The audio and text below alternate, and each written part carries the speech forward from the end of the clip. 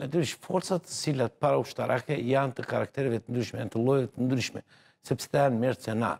Ah, okay. Ata janë mercenar, të cilët për arsye pagese apo për arsye nacionaliste marrin pjesë në stërvitje dhe janë gati të futen brenda territorit të Kosovës.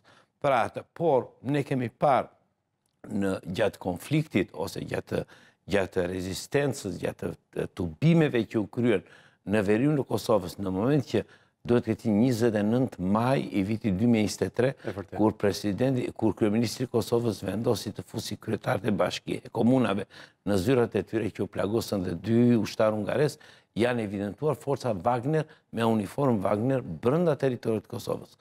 Thjesht çështja qëndron, ata janë rusë, apo janë sërb të cilët kanë shërbyer dhe mbajnë uniformën e Wagnerit. Kjo natyrisht është për t'u verifikuar, por ka pasur dhe sërb të cilët kanë shërbyer kuptohet në, në, në konfliktin e Ukrainës në e, interes të forcave ruse.